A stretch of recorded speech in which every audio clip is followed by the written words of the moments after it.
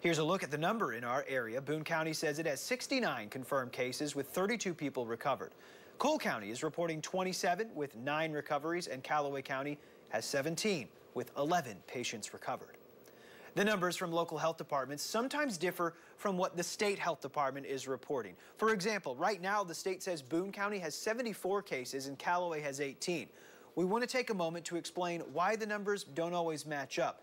An official with the health department in Boone County tells us sometimes if the state gets lab reports without a patient address, they initially automatically assign it to the county the lab is in, then go back and try to research the patient address and adjust the website after they've done so. Officials think that may have been what happened today. Meanwhile, a Fulton spokesperson says Callaway County has only 17 cases and that the state number could simply be a typo.